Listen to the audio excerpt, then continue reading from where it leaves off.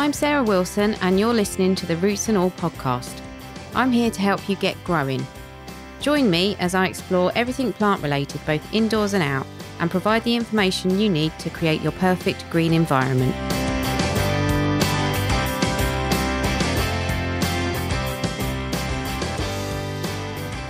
Hello, and welcome to this week's episode of the podcast. This interview features two guests instead of the usual one, and those guests are Lottie and Connor, founders of Earthly Biochar. Maybe you already use biochar in the garden. Maybe you've heard of it but aren't quite sure what it does or how it works, or maybe you're completely new to it as a concept. In any case, I'm sure you'll learn such a lot from this interview. The interview starts with Connor describing the beginnings of his and Lottie's journey into biochar. We were quite concerned about climate change and we wanted a way to use our entrepreneurial spirit to do something about it.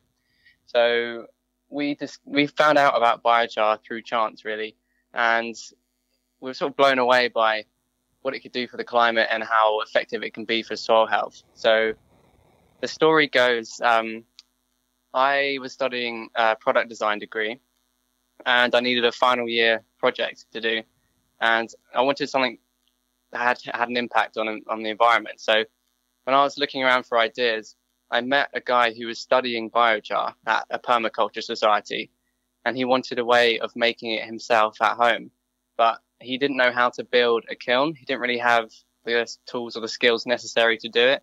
And after I told him I was doing product design, he asked me to look into it for him. Um, at the time, I hadn't heard of biochar, so I wasn't immediately interested in it. But when I pretty much had no product ideas, I just Googled what biochar was and I found a TED talk on it and I found out it was carbon negative, so it could sequester carbon and help with taking it out of the atmosphere. And it was this amazing soil enhancer. Um, so I typed in biochar kiln for sale and nothing came up. So the next morning I went down to my lecture and I said, Oh, I've got this biochar thing. I don't really know much about it. And, you know, I'm not sure if it's going to work. And she was like, yeah, yeah, do that one. Um, no one's done anything like that before. So I was pretty terrified, but nine months later, messing around with sort of bean cans and oil drums and making prototypes, I designed a, a back garden biochar maker. Um, and we have to do uh, an exhibition to the public uh, at the end of our degree show. And when I was showing it to people, ended up getting 15 people to sign up to buy it. And at that stage, we thought, okay, maybe this is the climate friendly business idea we were looking for. Um, so one of our lecturers came up to me and said, "Oh, your project's really interesting. Uh, can we co-author a research paper on it?" And to do that, we needed to do a grow test. So we were going to have like 20 radishes on a windowsill. I needed to source some compost. So I was ringing up local plant nurseries, trying to get hold of some free, good quality compost. And on the fourth one, I rang up uh, Kings Park Nursery in Bournemouth, um, and uh, the nursery manager called Chris Evans. He picked up and he said, Oh, what do you need this compost for then? And I said, Oh, I'm doing this trial on biochar. Have you heard of it? And he hadn't heard of it, but he invited me round. Um, I told him about it, showed him my kiln, and he said, Right, I'll run your grow test for you, but instead of 20 plants, we'll do it on 400 plants and he'll pay for and manage everything. So that was an amazing, unexpected outcome. We ended up testing, uh, we, I made the biochar in my prototype that I designed. I charged it up with a compost tea and drove down to Bournemouth and we mixed it into their compost, which they just buy in 17 litre bags at a rate of 10% by volume. And we potted up 400 plants, uh, three different types, just bedding plants, wallflower daisies, uh, can't remember the other one. Um, and went home and then came back in three weeks' time just to see if there had been any, effect. And I, like, totally honest, I was quite scared. I was like, have I just introduced lots of diseases in his greenhouse? Uh, is, is this going to ruin his plants? But when I got there, it was visibly different and he was extremely impressed. And he said, roughly, we sped up the plants by about a week. So after that successful grow test, we did another one, but on 4,000 plants and then we planted them into bedding, uh, into actual beds in Bournemouth Lower Gardens. Um, and when that one went really well as, as, well, he asked us to supply him with a yearly supply. Um, so when we tried to find that, we realized that no one was making it out of local uh, resources at the price and the quality and sustainability criteria that we needed. So we needed to be certain that it was carbon negative, made out of waste resources. So we weren't chopping down a forest to make it and made in a process which doesn't produce smoke. Um, and when we found that gap, we realized that if we wanted biochar to come to realization and actually have the impact we wanted it to have, we would have to set up the UK's production infrastructure. So we never intended to do that. To be honest, we didn't want to do that because it was quite a scary idea having, you know, machinery and land. But as we got more and more concerned about climate change, we just decided we were going to commit it. So, um, yeah, I, will let Lottie describe what happened after that. Okay, cool.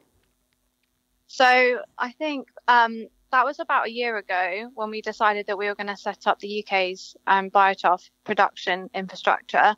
Um, and we also started getting more inquiries for ready-made biochar. Um, and we won a place on an accelerator program up in London, and that gave us a small cash injection into our startup of about five thousand pounds, um, and enabled us to finalise the kiln prototypes, um, and that's now live. And and um, also enabled us to kind of delve a bit deeper into what could the UK's production infrastructure look like. And through reaching out to people, we met an amazing professor at Reading University, and um, that relationship has now evolved to, to, me doing a PhD with him um, on biochar, working with farms across the country to actually kind of start quantifying the real impacts that biochar can have both economically and environmentally on farming businesses in the UK. So, f- yeah, fast forward a year, um, we're at a point where we're making and selling biochar um, on a small scale, and we also sell our kilns. And I'm doing PhD and working with lots of farms. Cool. Um, well, there's quite a lot in that that I'm I've got questions about. So the first one was that you mentioned Connor that you charge it up with compost tea. What does that mm. involve, and why is that important? So biochar is like a battery. Um, you need to load it up with nutrients before you add it to soil. So if you're if we were doing this grow test and we added uncharged, we call it raw biochar, into the potting mix, there was a chance that it would absorb nutrients and water from the compost as kind of stealing it from the plants. And this would negatively impact, could negatively impact the plant's growth until the battery was charged, the biochar was charged. So there are so many different ways to charge biochar, but because we needed to do it in a rapid turnaround, we took uh, finished compost from uh, a local gardener who makes really good organic compost. We added it to rainwater. We put a bit of uh, molasses, so sort of unrefined sugar, in the container. And we bought some aquarium air pumps and we bubbled this mixture up, looked kind of strange.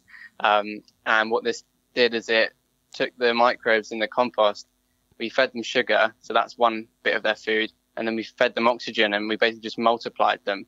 And then once we had a good compost tea, you can tell it's good by the sort of frothiness, uh, the sort of foam on the top.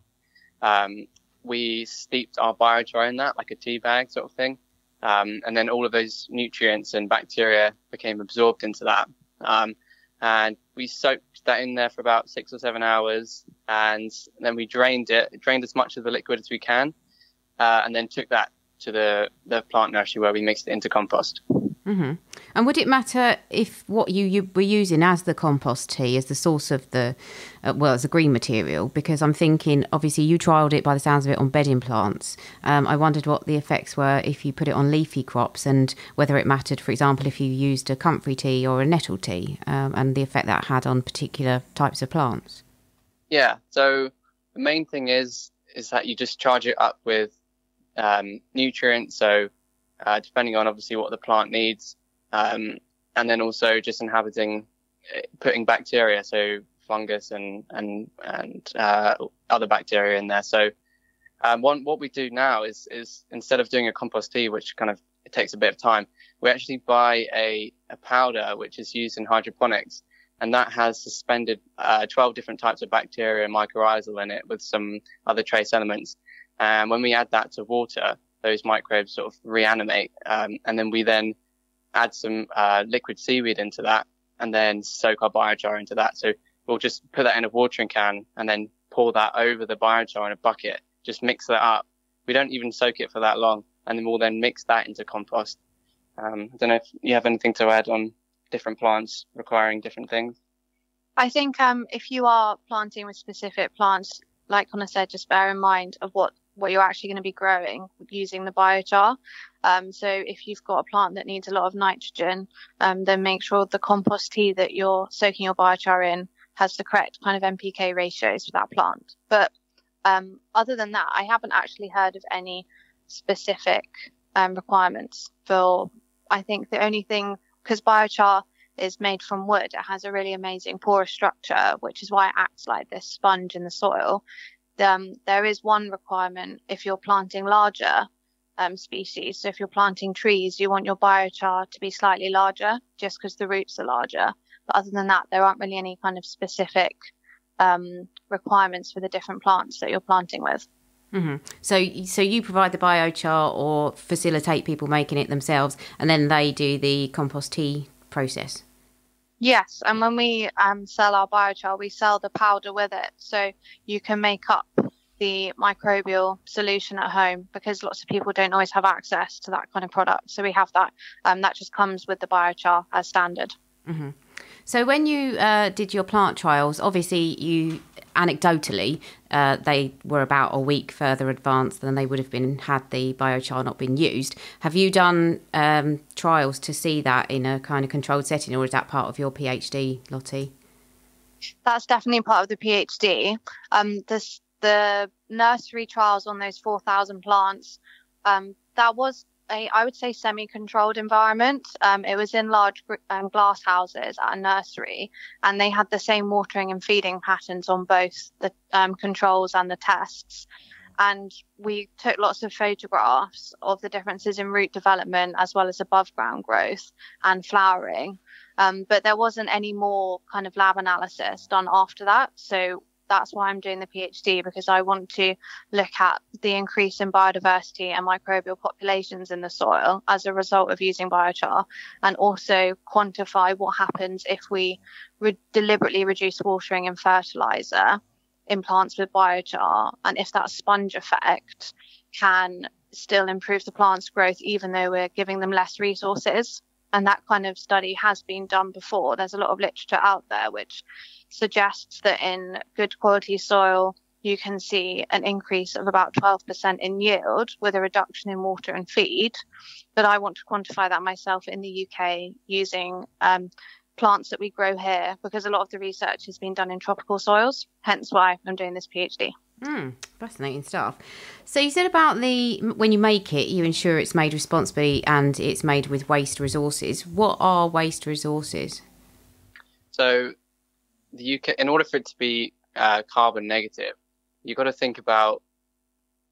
Uh, so there are in the UK, there's between five and ten million tons of waste wood being generated each year, and you sort of think of this as a ticking carbon time bomb. Um, most of the time, this wood will end up in landfill or incineration. Uh, in landfill, methane is produced as well as CO2, and methane is 25 times worse as a greenhouse gas than CO2. And then in um, incineration, obviously the carbon goes back into the air. So that's why we want to use waste. So we intercept that carbon before it has a chance to go back into the atmosphere by turning it into biochar. There is um, an argument for, so there are people in America who using uh, free farmland, so things that they that doesn't compete for, for food crops, and they're growing things like willow, um, and they're coppicing it. So they'll plant fields of willow, they'll let it grow to a certain height, and they'll cut it, and then they'll turn that into biochar. So it's sort of like farming carbon from the sky. So at the moment, we want to make use of clean, untreated wood waste. So stuff from uh, furniture factories, uh, untreated pallets, um, construction demolition waste, um, things from woodland management. So as we're going and thinning some trees, promoting biodiversity and uh, supporting the ecology in woodlands, there's a lot of biomass that's generated from that, as well as tree surgeons. So uh, once, yeah, we're, we're focusing on waste at the moment because it's a problem. Um, but in the future, we probably could see um, carbon farming, similar to the what I described with willow. Yeah, So, when you sent me some information about what you do and your production and all the rest of it, you also sent me some really interesting stuff about how historically biochar has been used, particularly in other countries. Can you talk a little bit about that? Yeah, sure. Um, so you had Craig Sams on your show, uh, I think a year ago now, and he did a really good job of talking about how biochar was sort of discovered, um, talking about terra preta and the link between the Amazon rainforest. So if any of your listeners want to go back and check that, um, I won't I won't cover that, but things that um, we can add to are so the Japanese have a really interesting relationship with charcoal. Um, they have multiple different uses for it. So when they build a house, they will underneath the floorboards, they will put sacks of charcoal underneath it.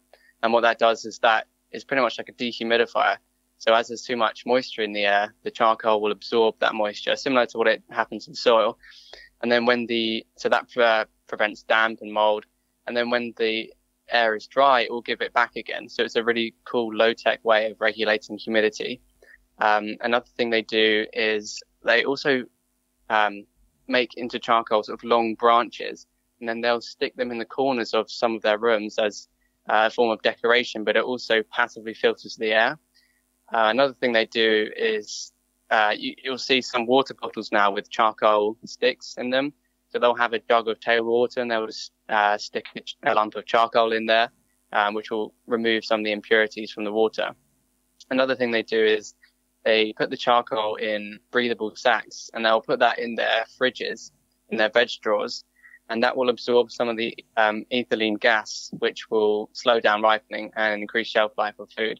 Um, I haven't personally tried the fridge experiment yet, but it's something that I'm really interested in. Um, yeah, and throughout time, there are still rural Japanese cultures who will use charcoal, biochar, in in their um, food production. So there's a couple of videos on YouTube, but it's very hard to actually find good quality data. But you can see them sprinkling charcoal in ditches, before, and then they'll cover those ditches with soil. Um, so they've been using it for thousands of years, um, and we sort of we forgot about it as a society, and now it's being rediscovered. Um, some people call it the oldest thing that you've never heard of. So, yeah. Yeah, and what's happening in Sweden? I gather they're into it in a big way. Yeah, so Stockholm um, have done something interesting. So they won a million dollar grant by the Bloomberg Philanthropies in 2014 to set up a biochar production infrastructure there. So they've bought a, a kiln called a Pyreg, which is a German manufacturer who we're now talking to. And what that does is the citizens and the tree um, utilities there, they will give their garden waste. Um, they dry that, chip it up, and then put it into the biochar machine. That will then produce biochar, and then the excess heat created from that process will be used to dry the upcoming feedstock, and that will also go to power homes. So they can provide a carbon neutral heating product for residents, and, and this plugs into a district heating network. Um, and one of their machines can uh, create enough heat for a, power 182 homes. So they're capturing carbon, they're getting rid of a waste resource, and then they, they as a thank you to um, for the citizens giving their garden waste, they actually they drop off some garden waste and then they come and pick up biochar in return. And they're doing that at the moment just because they're trying to get the word out. Um, so yeah, that's that's what they're doing now, and they they now have plans to set up uh, six of these uh, around Sweden. So they're very progressive, and this is something which we want to learn from and replicate and, and add to. So that is, um, we will be putting out a blog on the Stockholm Biochar project. We found some really good PDFs that they've released as well as uh, an interview with them. So we'll make those available on our Instagram and, and our website blog. You assume when you use garden waste, it will be a mixture of um, not just woody material, but also slightly softer material. Is that still okay for producing the biochar? Yeah, so um, if it's made in these large kilns that Sweden have, you can put any um, biomass in there. So that's anything that's natural and has carbon in it. And there are some kilns that are even designed to take sewage sludge and turn that into biochar. Um, but when you're making it at a small scale in your back garden in our biochar maker, that can only really take just wood waste. Um, and that's because it's really hard to burn kind of wet and green material. But on a large scale, any form of biomass is fine. Yeah, and um, I think with the green stuff, the things that you that are hard to compost, we should make into biochar. But things that are easily composted, I think there's uh, definitely a place for that. Um, and just to clarify on, on the sewage sludge point, um, there is uh, evidence to say that there could be heavy metals in, in that biochar. So, and that that biochar won't probably be used for soil applications. That will be used for um, to be uh, mixed into asphalt or um, used in insulation or all of these sort of non-soil applications. Um, and there's a document actually which you can find online. It's called 55 Uses of Biochar, and that you'll see you'll be amazed at all the different things you can do with it. Um, just while I'm on that topic, I'm, i think I'll just like list off a couple of ones that I've got here.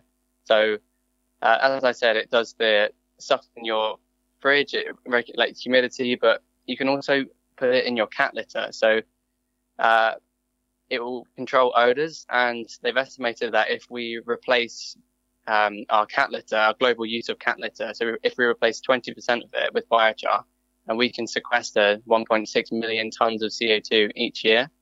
Um, and this is something which some of our customers are now using. And funnily enough, there's a, a, customer called Concrete Gardener up in Newcastle, and they've just told us that their kitten has started behaving in a much calmer way. So the kitten was really erratic, but and as soon as they added biochar, they've calmed down, and we had no, we have no explanation for that whatsoever. But that's an unexpected um, unexpected thing. Uh, and then other ways to use it in the home. So my probably my favorite way to use it is in my kitchen compost bin. So I'll have like a, a quite a big compost bin in where I put my veg scraps. And when that gets full, it can really stink. And then when you empty it as well, like sometimes that's not very pleasant. So what I'll do is I'll sprinkle a layer of biochar in the bottom. I'll add a layer of food scraps and every so often I'll just cover the top of that with more biochar. So what that does is the the smell is is methane, and as I said, it's 25 times worse as a greenhouse gas than CO2. So it's really important to try and do something about that. So when you put biochar on top of that, it will absorb some of that methane uh, and stop it from going out, um, making it a lot more pleasant, and it will absorb the excess liquid as well. Uh, and then the benefit is, is when you take that to your compost bin, you've already mixed biochar into your compost, and with all your other garden other garden waste, um, eventually you'll have a perfect mix of biochar and compost.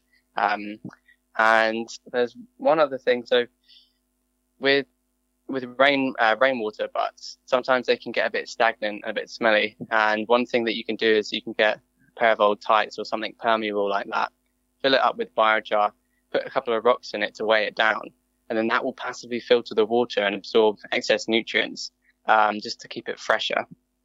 Um, and then one other thing, so with perlite and vermiculite, biochar can do pretty much the same job, but then you get all these other benefits, including the, the carbon savings. And um, there's a really great book uh, for anyone really interested in biochar called Burn Using Fire to Cool the Earth. It's by Albert Bates and Kathleen Draper. Um, and in that, they talk about something extremely shocking, which I didn't actually know. Um, and so vermiculite mining causes health effects similar to asbestos. So in what once was the world's largest vermiculite mine in America, 400 people have died from asbestos related diseases.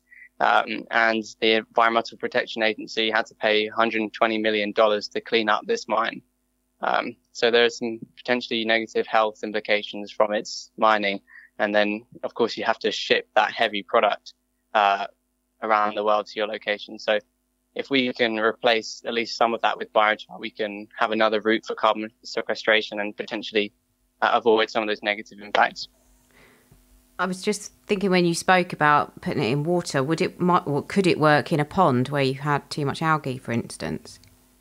Yeah, so this is one uh, an emerging market for biochar is blue green algae remediation. So when you have algae, like you said, it's just too much nutrients, and you can put big sacks of it along the edges and it will just passively uh, draw up nutrients.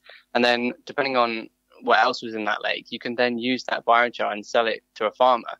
So there's this great thing because it has so many uses. You can buy it once and then use it two or three times. Um, there's, e- there's even people suggesting that you can rent biochar to some person uh, and then pick it up from them and deliver it to the farmer or something like that. Yeah. And I was I was just going to say about helping with fertilize too many fertilizers. Um, people have started using biochar like giant biochar tea bags in rivers um, to help absorb excess um, fertilizer and nutrients. And if you put it directly into the soil, it will stop nutrient runoff as well because um, it's very porous and like a sponge. So it's really good at stopping lots of heavy metals and also nutrients running off into our waterways. And can you have too much of it in your soil? Yes, you can, like all things. Um, yeah, so the optimum rate of biochar application in soil is between 5 and 15%, depending on the health of your soil and the climate. If you go above that, um, the literature has shown that it starts to have negative effects. Um, I'm not sure why it causes negative effects above that, but I presume it just changes the um, ecology and the way the soil works. So we always recommend, and what we've tested as well, is an application of 10%. So that's one part biochar to nine parts soil. There's um, we've also tried so things that require more drainage. Like people are actually growing cactuses in straight biochar I mean, I don't necessarily recommend that, but uh, we've been trialing mixing um, 50-50, so we'll do half biochar, half potting mix.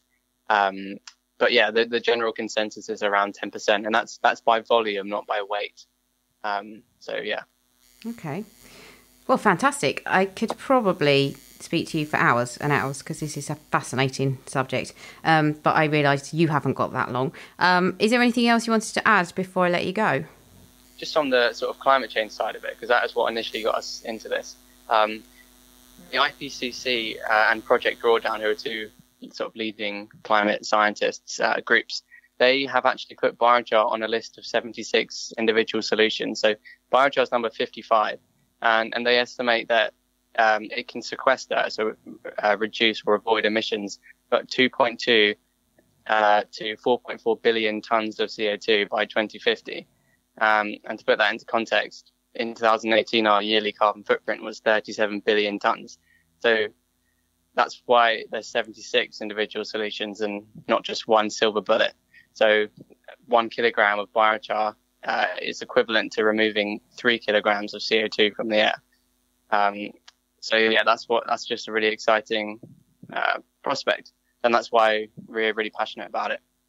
Hmm. Excellent. Lottie, anything else you wanted to add? Um, the only other thing I'd like to add is that if anyone's listening to this and would like to try out some biochar or a biochar maker, um, we do have a coupon code for them. Um, so if you'd like to go to our website, which is earthlybiochar.com, you can use the coupon co- code roots and all. So the same as the podcast name, just as one word and all lowercase. And that'll get you 10% off your orders. But I don't think I've got anything else. If, but I'd love people to reach out and talk to us and follow us on Instagram and ask questions. That'd be great. Well, a big thank you to Connor and Lottie for talking to us about biochar and their brilliant new venture, and also for the handy discount code. Links to the Earthly Biochar site are in the show notes, and there's a wealth of information such as how to build your own kiln, guides to all the products, and a webinar that explains even more on the website. Thanks to you as well for listening. Here's Dr. Ian Bedford talking about the most clever and creative of bugs. And apologies to you and Dr. Ian. I gather last week I rudely invaded his segment with my outro music. I'll be going back to edit that out shortly. Thanks to everyone that let me know. Always good to know that some of you are listening to the end. Take care. In habitats throughout the world, a remarkable 45,000 different species of spider have so far been discovered, and 650 of these reside in Britain. Besides their key features of having eight legs and a venomous bite, all spiders produce silk, and they use their silk for different purposes, such as creating egg sacs, traversing surfaces, and for wrapping up and storing their food.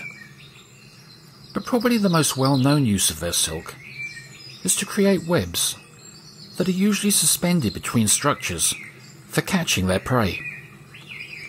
However, not all spiders use webs for this purpose, since some make them into protective canopies for their young, whilst others lay them on the ground, where they work like tripwires to alert the spiders to danger or prey.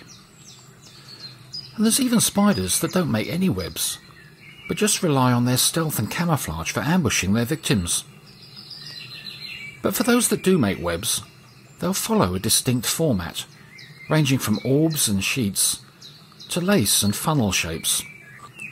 And the web's architecture will often be so unique that it'll reveal the family or even the species of spider that created it. How these spiders instinctively build their webs, though, remains one of the fascinating enigmas of the natural world. But this innate behavioural trait has clearly become hardwired into their DNA over the hundred million years that we know from specimens within ancient amber. They've been using silk to trap their prey. Spiders produce their silk from a gland inside their body, and it's stored as a liquid inside their abdomen.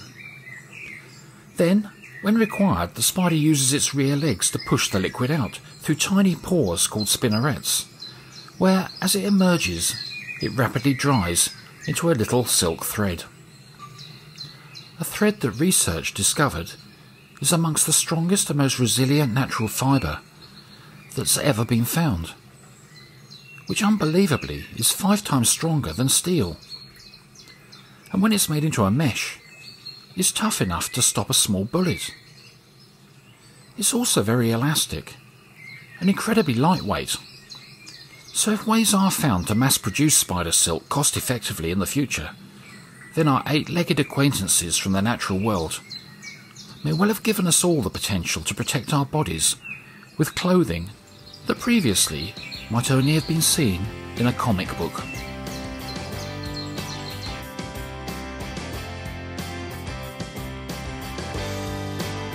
You can download or listen to the podcast direct from the website www.rootsandall.co.uk, where you'll also find my blog and a sign up form for the newsletter, which gives you a weekly roundup of content plus the inside scoop on things like upcoming guests. Or you can subscribe wherever you normally get your podcasts. Email me with comments and feedback at podcast at rootsandall.co.uk. Follow me on Twitter, Roots and All, Facebook, Roots and All UK, and Instagram, Roots and All Pod. But please also check out my Patreon, where you can make a one off donation or take out a monthly subscription to help support my work. Because if you like what I do, please help me to continue doing it. Even if you make a one off donation of a pound, trust me, it all helps and I will be immensely grateful. So please go to Patreon and search for Roots and All.